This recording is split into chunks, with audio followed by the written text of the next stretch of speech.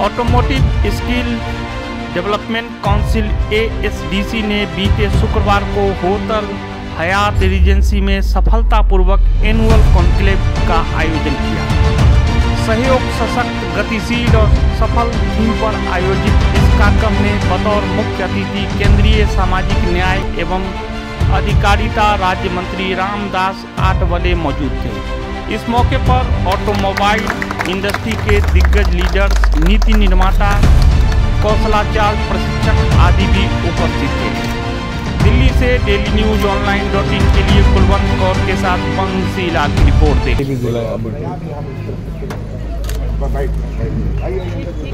Second इनको जाने दीजिए। इनको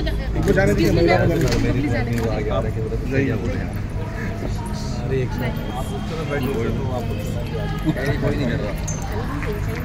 ड्राइवर्स ट्रेनिंग कराते हैं और स्टेट गवर्नमेंट्स के ऊपर होता है। कई स्टेट गवर्नमेंट्स आगे आ रही है उनको ई रिक्शा है ये डेढ़ से सर तीन लाख रुपए तक होता है बैटरी के साइज़ के ऊपर। ये तो पूरा बैटरी से ये पूरा इलेक्ट्रिक है। ये लोडर वाला है इसमें पैसेंजर भी आता है सर। कितना के किलो ये जाता है? लगभग 500 टन से नीचे होता है। बैटरी साइज़ और उसके हिसाब से चलता है। ढाई सौ से पाँच सौ छः सौ तक। तो डेली यूज़ में जो लास्ट माइल मोबिलिटी होती है उससे cover होता है।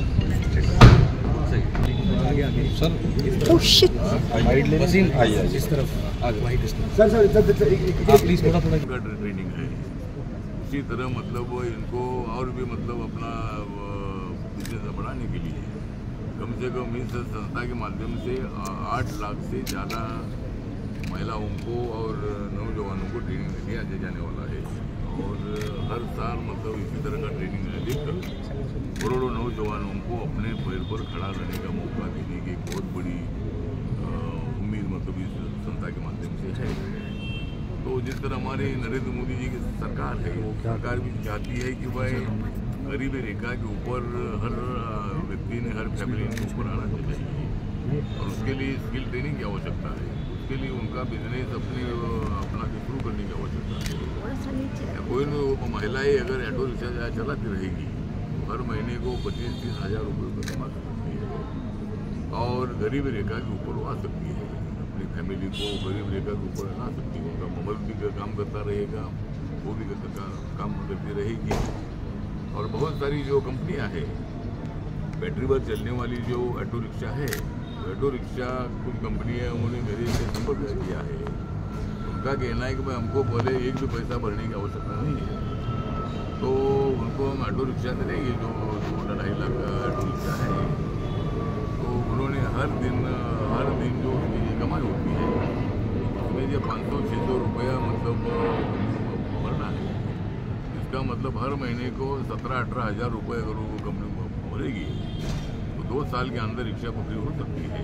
इसी तरह की भी स्कीम कुछ कंपनियों ने शुरू कर करनी चाहिए बाकी हमारा महात्मा फुले डेवलपमेंट कॉरपोरेशन है। उसके साथ साथ N S F D C है, national schedule caste finance development corporation है। उनके माध्यम से भी कोई स्कीम हम बना सकते हैं। उनको मतलब कुछ जो कुछ पैसा उनको दे देकर भी हम ये स्कीम पूरे महाराष्ट्र में और भी राज्यों में शुरू कर हैं आज का जो कॉन्क्लेव है, पूरे देश भर से यहाँ ट्रेनर आए हैं और उनको स्किल ट्रेनिंग देने का, उनको गाइडेंस करने का ये प्रोग्राम यहाँ रखा गया है। सर, प्रधानमंत्री जी ने इस बार बजट में 500 जो कंपनियों का चूज़ किया था कि कंपनी जो उनको इम्प्रूव करेगी स्किल सिखाएँगी और डेवलपमेंट के कार्य हम जो कराए जाएँगे, क्या उनमें से ये कंपनियाँ सेटिस्फेक्शन हुआ उन कंपनियों का? इन्हीं में से कंपनी का सेटिस्फेक्शन हुआ, आपकी तरफ़ से कह सकते हैं?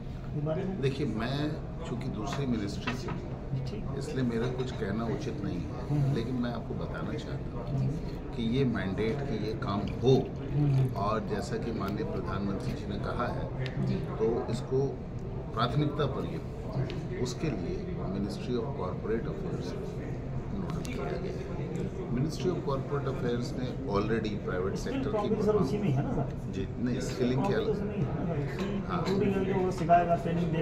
तो मैं उसी की बात कर रहा हूँ। तो मिनिस्ट्री ऑफ़ कॉरपोरेट अफेयर्स ने ऐसी कंपनीज़ वार्ता की है ये मेरे नॉलेज में। और उन्होंने ये तय किया है सभी कंपनियों से कमिटमेंट भी लेना शुरू कर दिया है कि वो प्रत्येक कंपनी कितने कितने लोगों को अपने यहाँ इंगेज करें। तो ये एक बहुत अच्छा इनिशिएटिव है और आपका प्रश्न बड़ा प्रासंगिक है और बड़ा रेलेवेंट है कि ये काम होना चाहिए। और मुझे पूरा विश्वास है कि ऑटोमोटिव सेक्टर में भी जो कंपनियाँ हैं, उनसे मिनिस्ट्री ऑफ़ कॉरपोरेट अफेयर्स ने इंगेज किया होगा। और वो ए जो कि ए क्या है?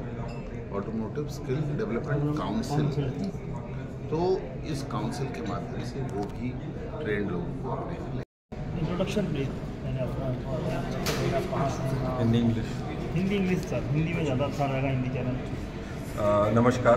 मैं वेंकेश गुलाटी हूँ। मैं वाइस प्रेसिडेंट हूँ ऑटोमोटिव स्किल डेवलपमेंट काउंसिल ये काउंसिल की एक ड्यूटी है कि जो हिंदुस्तान में ऑटोमोटिव में जितनी भी एडवांसमेंट हो रही है, उसके लिए जो भी हमको शिक्षा चाहिए स्किलिंग चाहिए ट्रेनिंग के लिए, उसके लिए हमारा ये पूरा काम है। हमको एक कोर्स क्या चाहिए आगे आने वाली इमर्जिंग टेक्नोलॉजीज़ के हिसाब से, वो कोर्स कितने घंटे का होना चाहिए, क्या सब्जेक्ट होने चाहिए, क्या उसमें कितनी पढ़ाई होनी चाहिए, उसके साथ उसमें कितना ऑन जॉब ट्रेनिंग चाहिए। क्योंकि देखिए, ये जो है स्किलिंग है, ये प्योर थ्योरी नहीं है। तो उस बच्चे को कितना थ्योरी चाहिए और कितना फ्लोर पे बैठ करके सीखना है, उसका ये कोर्स करिकुलम बनाने के लिए ये स्किल डेवलपमेंट काउंसिल बनी है और उसको पूरा क्रियान्वित करने के लिए ट्रेनिंग पार्टनर्स ढूंढ करके, बच्चों को बुला करके ट्रेन करा के, फिर सर्टिफाई करने के लिए ये पूरा एंड टू एंड हमारा काम.